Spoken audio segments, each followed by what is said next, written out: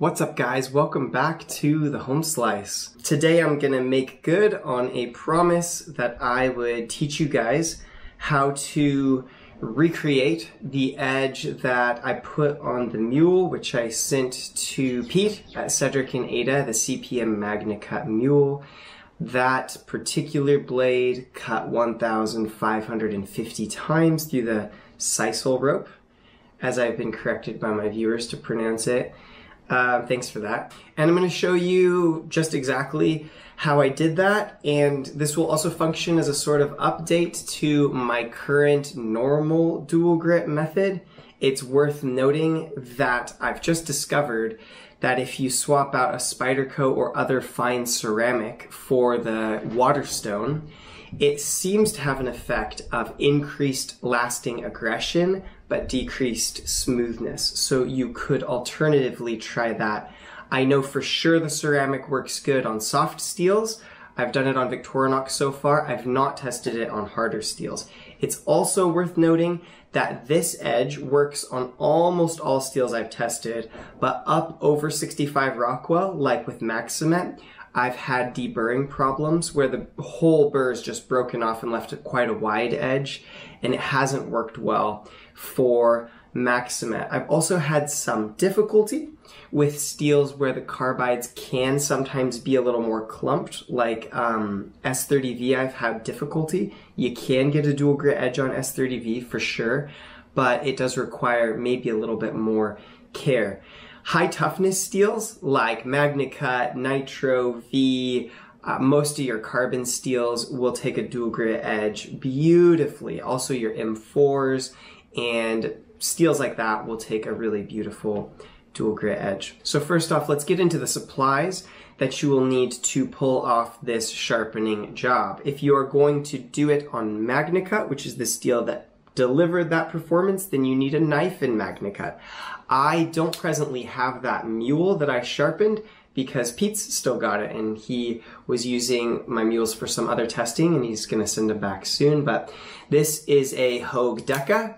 This is probably about two Rockwell softer than what the knife is that I sent to Pete, but it will still sharpen up with this method admirably and deliver a very incredible result. I have not measured the difference between 61 Rockwell and 63 Rockwell, but it should be noted that if you want the exact same performance, you probably need a Spyderco Mule, but you'll get close to it with, with any MagnaCut, in my experience and in my opinion.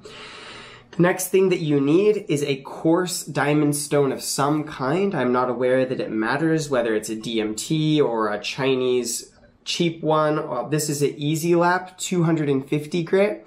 I hear people in the comments have experienced good results anywhere from 200 or 220 grit all the way up to 600 grit.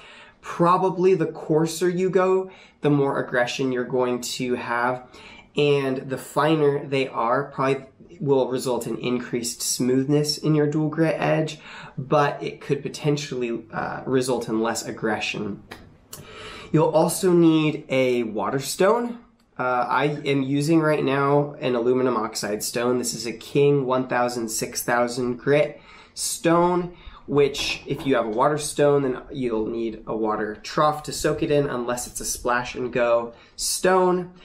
And I find that with this dual grit edge, my original dual grit edge, I find that it helps to have a stone that has a somewhat soft or forgiving clay or binder in it. These kingstones are very soft.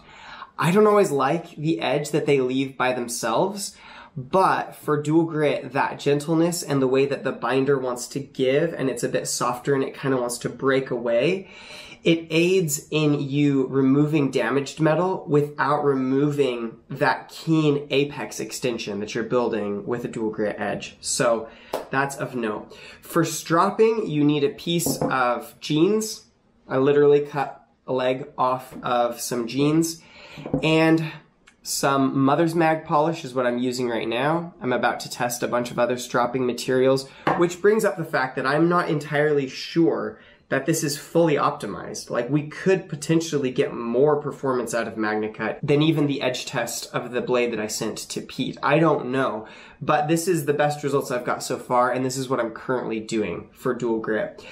I also use a block of wood for the jeans to build a little flat strop. I'll explain that more in detail when we get to that step. You can also, I would recommend, using a block of some kind to isolate your angle.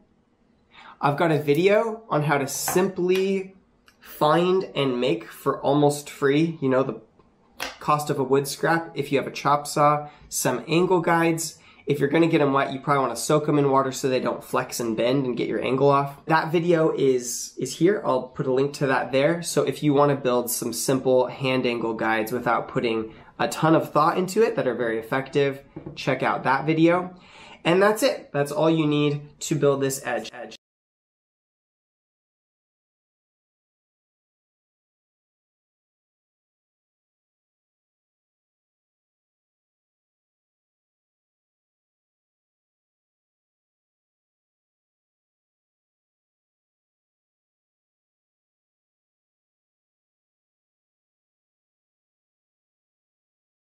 Now I've already reprofiled this to 17 degrees. I'll have to come out with a video soon because I figured out mathematically how to calculate the grind angle so that you can set this against you can set the grind against the angle guide and it matches up with much more precision to the actual edge angle you're creating. I'll have to make a video about that soon. Basically, you just measure the spine, take half of that measurement in millimeters, and then you measure the the height of the grind, and then divide half of the spine width by the grind height in millimeters. And then on a scientific calculator, you push the second button and then the sine minus one, the inverse sine, that will give you the angle that your grind is set at. And that's the amount um, that it'll, it'll be pushed off the stone to center that angle. Anyway, I should make a video about it. Not right now. So today I'm gonna shoot this video, I'm gonna get it all set up and I'm gonna shoot it somewhat continuous and like a full length sharpening video because people seem to be interested in that. If you want me to clip and make it into a, a shorter, just like step by step, do this, do this, do this, let me know in the comments. Otherwise, let's get into this sharpening. So this Hogue Deka has been reprofiled to 17 degrees per side and I did that on a 600 grit diamond stone it's slicing paper nicely right now. I'm not gonna do this from dull. If you want me to make a video on how I reprofile by hand, then let me know in the comments. But it's, it's doing well. It might, maybe even push cutting. Yeah, like a slightly messy push cut, but it's pretty good. The BESS on this right now, let's find out.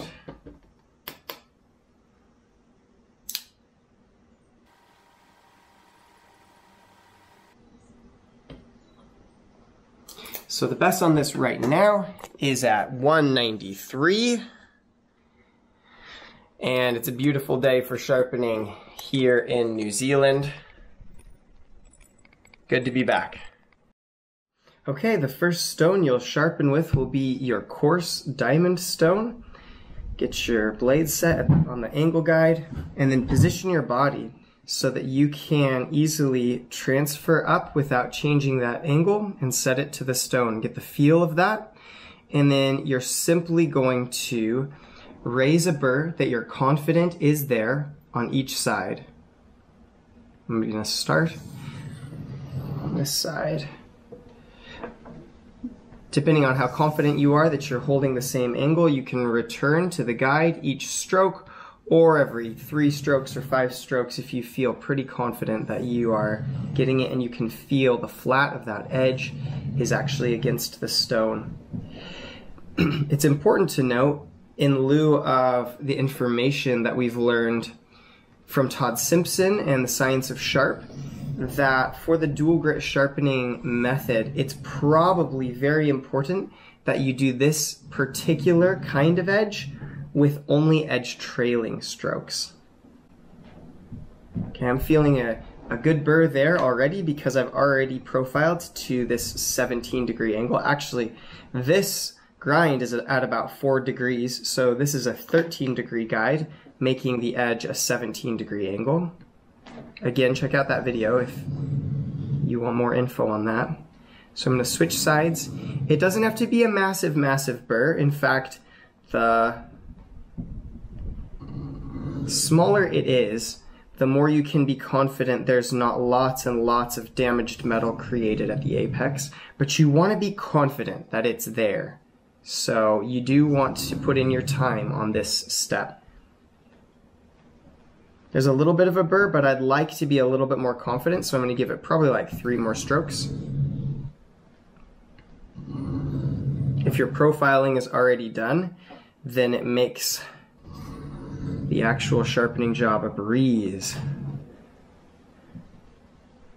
Okay, I am confident that that stone or that side of the edge has got a burr. So I'm going to move this one closer to me because I'm going to return on the back side to doing strokes on this each time. But I'm going to set up in front of it, make sure it's evenly spaced so you can reach them both easily. I'm going to set up the 1000 grit. We'll do the 1000, the red side of this kingstone first. I don't usually use a Nagura for this method, just the stone itself. So I've currently got a burr on, on that side. So I'm gonna switch to the kingstone and flip a smaller 1000 grit burr on the side that's facing me. What would that be?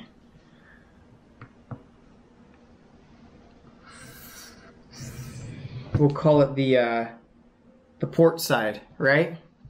Port and starboard. You ships guys out there. Uh, with these water stones as well, you, you can go, I would go pretty gentle with your strokes because you're trying to, you're trying to take advantage of how malleable that metal is and, and pull what you've already sharpened to the apex without damaging it. So you want to do fairly gentle strokes, but you want to be confident again that you've actually put that burr on the other side of the edge. I'm not feeling enough of it yet, so we're going to do several more strokes. Once you are confident, I wouldn't recommend going on and on because it does kind of matter how many times you flip the burr back and forth and it does kind of matter that you not create too much damaged metal to have to clean up on the strop because the strop, as I'm finding out, is really part of the key to this whole dual grit sharpening method. I'm very confident in that, but it's not too big. So we're gonna come back to the 250 grit stone and really gently push that burr back break off the parts of it that are fragile.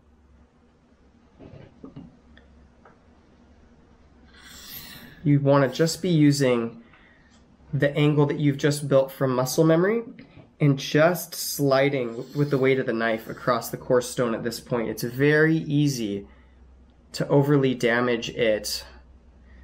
But it's also, if you're paying attention, it's not hard not to. I don't want to I, I, hear guys all the time and they're like, oh, I know that there it's possible to find sharpening ways like dual grit method that extend the edge life, but I'm just not into putting that much effort in.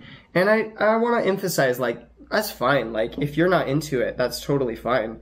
But I do want to emphasize that once, if you just get used to this, if you know how to feel when there's a burr there, it's not really very hard to sharpen dual grit. I find it to be easier, in fact, because it's basically like making a coarse edge. And then you refine one side of the edge, just the way you would normally. It's actually less work, in, in my mind, than a fine edge, because you're not hitting both sides. anyway, that's arguable. We don't need to get into semantics. I've just removed the burr without flipping it too hard to the other side, so I'm switching to my king 6000 grit stone, which is feeling actually really nice because I just flattened it with a Nagura that I got when I was in the States. Got some fun new stones to try out. I'll be Victorinox testing them first, but uh, really excited to share some results with you guys and then we're gonna try some more combinations. I've been so enjoying trying different combinations of dual grit edges and I'm excited to like sort of sound out what we've got performance wise in all the different stones in my collection. It'll be really fun. Okay, I've got a small but definitely identifiable burr. I'd actually like a little more in the middle where the pressure gets spread out. That feels good. So I've got a small but identifiable burr from the Kingstone. So back to your coarse stone. Make sure with this that um, you are not lifting the angle at any time, or at least you're being very consistent. I find that with hand sharpening, I prefer sort of a body pivot, kind of like this, or some version of that, over using any wrist action if you're talented enough to do like ambidextrous, go for it. I'm just not that talented, to be honest. Um, okay, let's check that. Okay, that's definitely flipped the burr back. Now, at this point, you want to be real gentle and you want to do this as few times as possible but you've got to get that burr aligned so that you can't feel it anymore. Okay? So it, the, the, the burr has now been flipped back to the 6,000 grit side, so you want to go ultra gentle and you want to feel each time. And as soon as that burr is gone, it's almost all gone there. I'll do a little bit more there. Once it's all gone there, yep, then you want to come back to the coarse stone. And this is like cover as little stone as you can manage with this. You're not trying to grind a new edge into it. You're trying to get rid of any burr that got folded over or at least align it. So very gentle, very short stroke, very careful to maintain angle. And that's almost gone. And then I, I would recommend, this is actually feeling pretty darn good already. It's feeling very good already. But I'd recommend doing your last stroke on your fine stone and doing it like just an absolute ghost pass um, to get that edge alignment on point.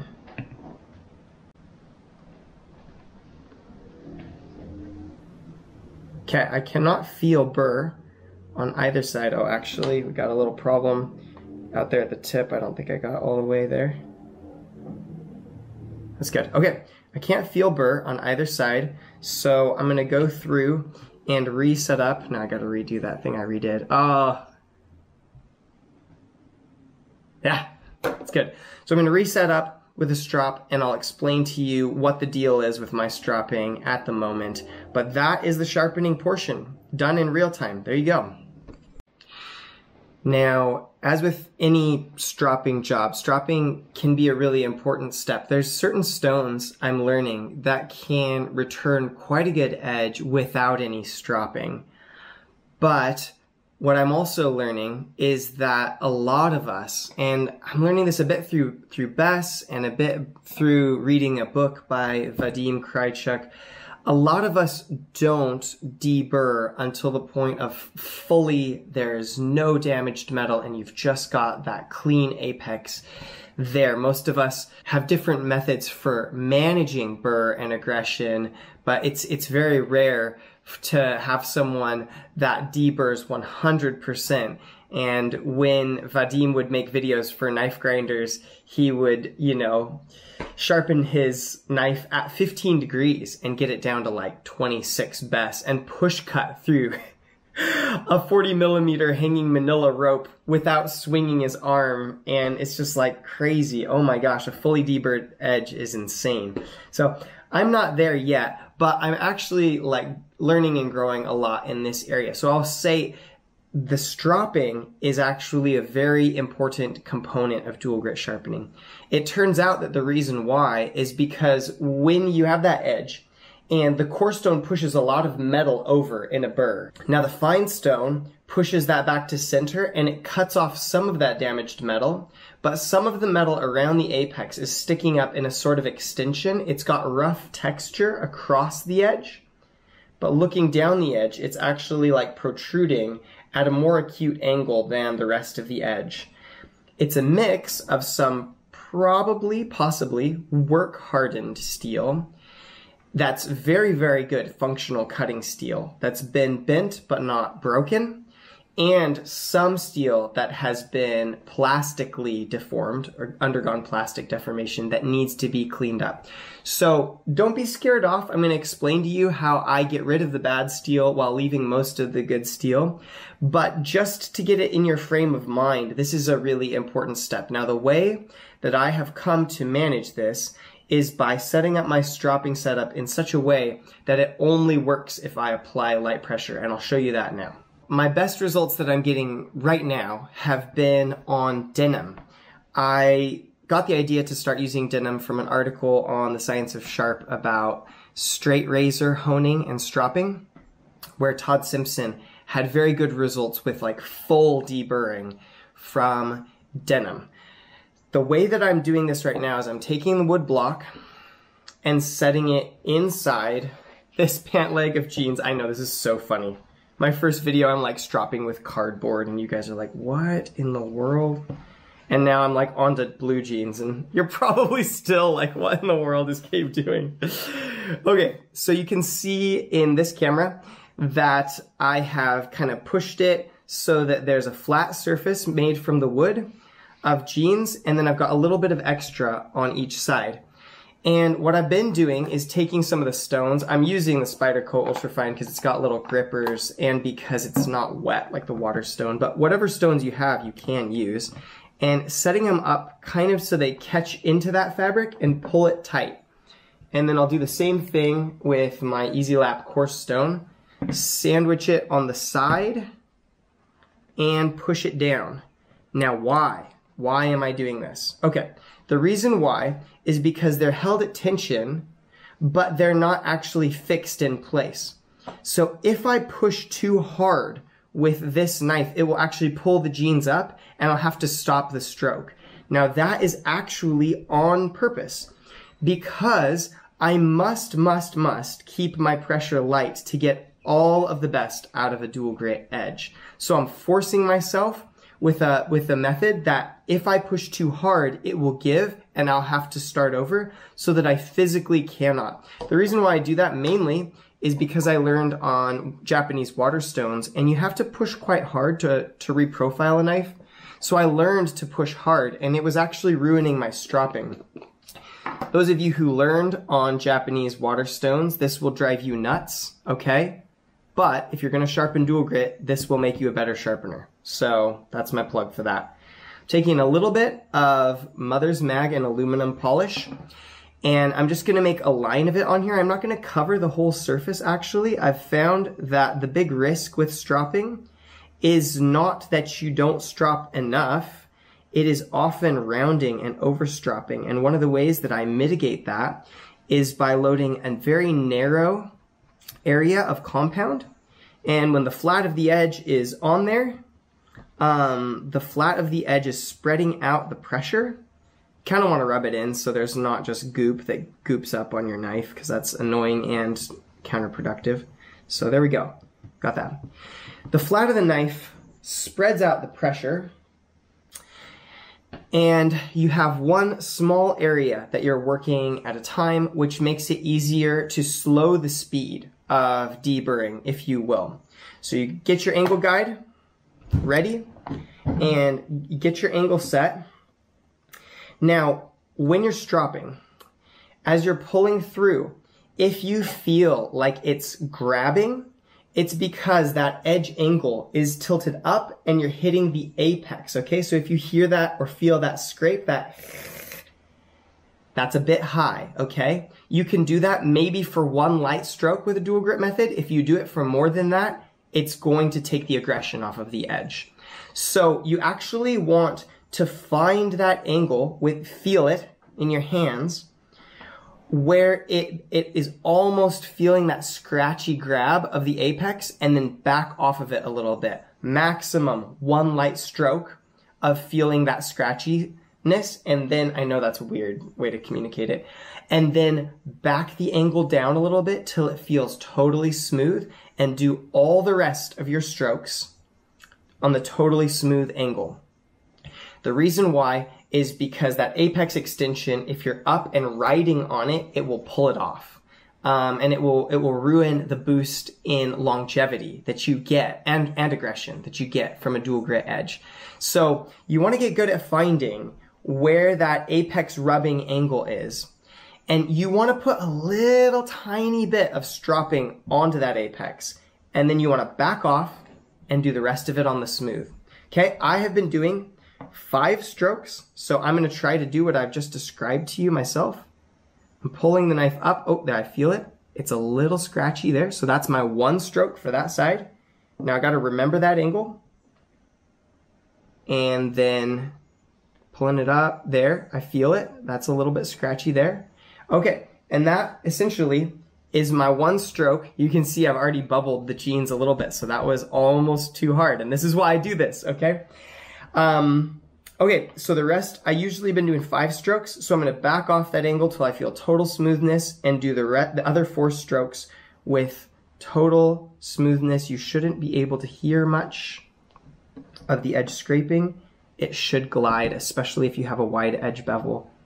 You're going very light here, not like excessively light. You do need a little bit of deburring. You do need the give of those jeans to wrap around the apex a tiny bit because you need to remove that damaged metal. This is how dual grit works. It's like harnessing the bend of the metal without it destroying the edge or weakening it or whatever. Oh, how many is that? That was two, right? I think that's three. Oh, that was almost too high. Hopefully didn't ruin it. When, when you're not talking and trying to make a video, this is actually not as hard as I'm making it sound. There we go, that was good. I think one more. We'll just go one more because I, I don't know. But anyway, this is real life. I'm not that precise of a person, to be honest. And you don't have to be that precise of a person to get record-breaking performance out of your knives. I mean, that MagnaCut I sharpened, it outcut a test at the same angle of Rex 121, and I'm not saying there was no other factors at play. There probably were, but um, you can get good performance hand sharpening as a normal person. This is what I'm trying to say. This is like part of the point of my whole channel. Anyway, I think that edge is done. You'll want to feel it for burr because there may be in your stroke some errors. In fact, there's a little bit of an error in mine. And in this part, on this edge, I've still got a little too much burr, so I'm to have to revisit that stone and hopefully, hopefully we're doing okay. So being able to feel and identify a burr is still very valid and important, especially for your lower Rockwell steels. Like this is 61 Rockwell, and it's actually taking a little bit more work and feeling the edge to deburr it than the Spyderco Mule did. If you've still got a bit of burr, it may be an indication that you didn't go high enough in your angle. You laid off that too much, but it's okay. It's better to do that and not even touch the apex than it is to overdo it and remove all of that aggression. So, had actually a fairly significant problem there to fix, and now I'm going to come back to the other side and just give it one really good gentle stroke. And then we'll retest the BESS and paper slicing and see how we did. And that's all I did, okay? So sent, did, did this, sent that particular knife off the way that that one deburred. It went down to 114 BESS. I, here's a picture that I took right after sharpening that one before I sent it to Pete. And we'll see what we got to on this uh, Deka. It's a little bit harder to deburr, so surprised if we're a little higher on the BESS, but I hope for good things. Let me, I'll set up the BESS now so you know I didn't do anything else to the knife. Uh, you see the number there on the phone? Yeah, okay, so let's check this out. Okay. Test the same portion of edge by lining up the sharpening groove where it was. Oh, we didn't touch yet. Yeah, we got problems.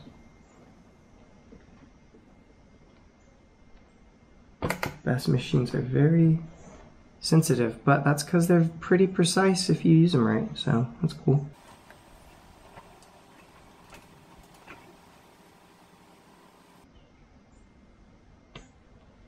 Ah, 118. 118, so that's very, very comparable, very comparable to the edge that was sent to Pete. That was sent to Pete was 114. So let's do a little paper slicing. I mean, you're just you're just not gonna have any problems with a paper slicer. So this stuff will fall through paper just about. Can curl some paper. I mean, yeah, it's it's real sharp. Uh, what else is hard? Um, let's roll this paper and see if we can initiate a cut on one, on the flat on one layer of paper. yeah, I mean, that's pretty good. That's pretty cool. Uh, let me go get some um, some paper towel. Okay, paper towel. Let's see. Very hard to one hand cut paper towel. Oh yeah, but we're good. Look at that. Guys, I love this edge. it's just so good. It just keeps cutting.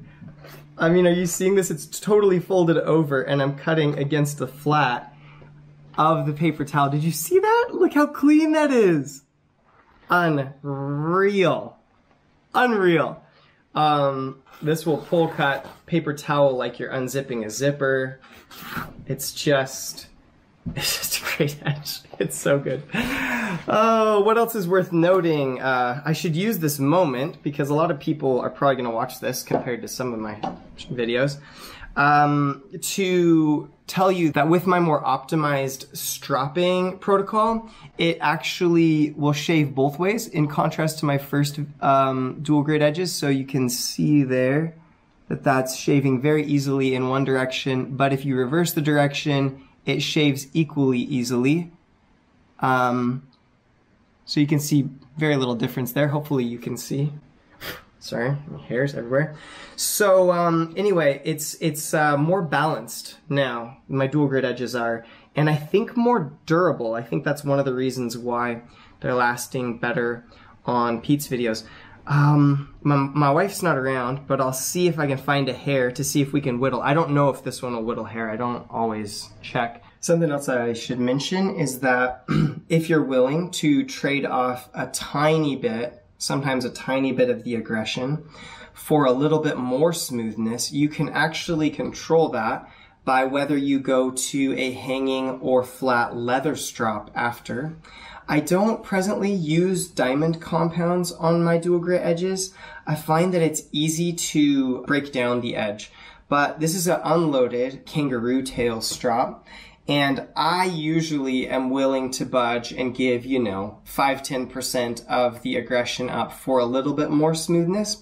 So I'm going to give this a couple of gentle strokes, laying the blade all the way down on the roo leather and then letting the leather just curl slightly from the, the weight of the knife to get that apex. Give it maybe three or four. If you use unloaded leather, it's hard to hurt the edge you basically mainly only make it better. The only thing that can happen is if you use a really tough leather like kangaroo, you can lose a tiny bit of that aggression because it does do some level of stripping or deburring. So I'm happy with that. Just wanted to demonstrate if possible that it, it is now whittling a hair. It, it pulled that curl off anyway. Um, oh, it just tree topped it people ask me to do with my edges. Slow, cursive cuts.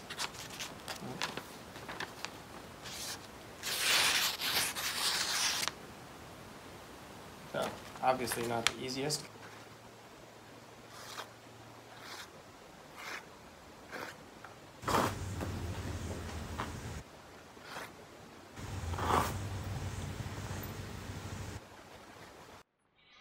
If you want to see my recent test where I did my normal Victorinox testing, where I'm testing steel with very low alloy to analyze the effects of different sharpening stones, what they have on the steel matrix or the steel itself. Recently, I had a phenomenal result of dual grit using a Spyderco Ultra Fine ceramic that cut twice as long as any of the fine edges I've ever tested and even cut longer than this method in, in that soft steel in that particular test. That test is here. For all the rest of you, I say peace out from the home slice. Take care, guys. Have a good one.